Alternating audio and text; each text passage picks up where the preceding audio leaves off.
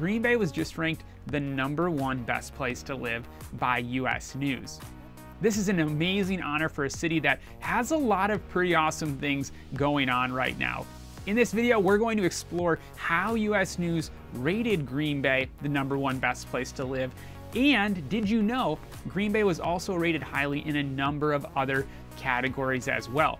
We'll take a look at everything that went into ranking Green Bay the number one best place to live, and I'll reveal those other areas Green Bay scored highly in right after this.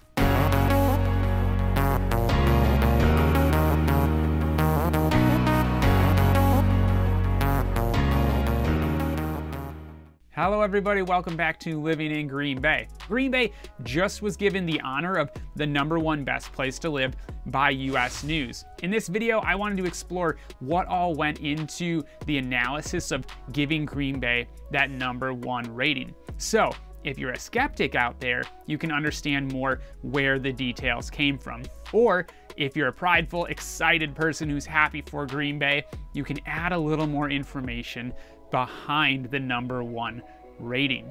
As a local real estate agent here in Green Bay, I'm not surprised that Green Bay ranks highly in these sorts of surveys. It has great cost of living.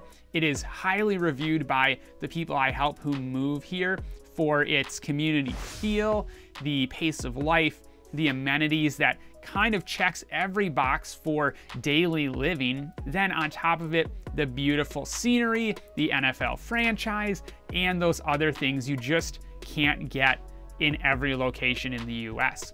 The simplest way that I can describe US news ranking system is that it has a few key categories that are weighted differently. And then inside of those are sort of subcategories. What this analysis did was look at things like Green Bay's economy, its healthcare, its education, its quality of life, and things like that, and then give out the rankings. It uses these things it calls indexes. These indexes then are given weight based on a survey conducted in March of 2023 that asked people where they put their highest priorities when it comes to evaluating the place they would want to live. And then that weighted survey from the population is used to give weight to these different indexes. And I'll tell you how they all weighted out here right now.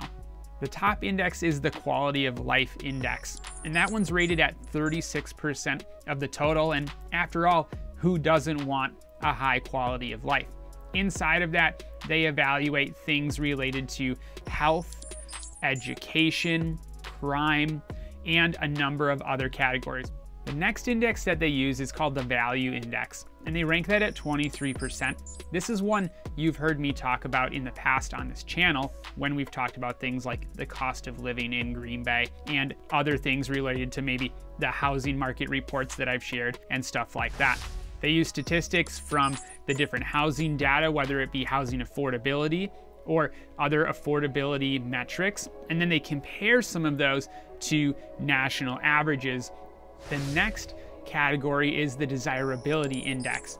And as you can imagine, this is really exploring what people's opinions and preferences for a given community are. Now, how they get data for something that could be so subjective uh, is really curious to me.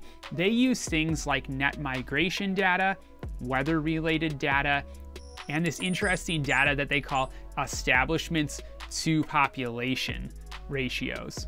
The last one that they used is the job market index. This was ranked as 19% of the total and it evaluated the given metro area's job status. So looking at things like unemployment rates and the average salaries in a given community. Then after collecting all of this data in these given indexes, they use things called T-scores and Z-scores. And from all of that information, we get our total ratings. Green Bay received a total score of 6.9, and it ranked really highly in quality of life and value. And I think anyone who lives in the community would say that as well.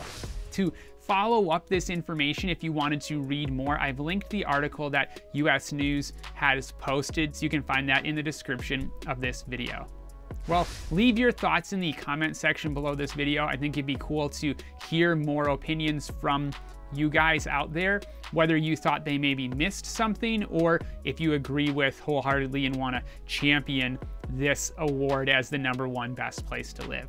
I hope you enjoyed this video, and we'll talk all sorts of other things about living in Green Bay in future videos coming your way.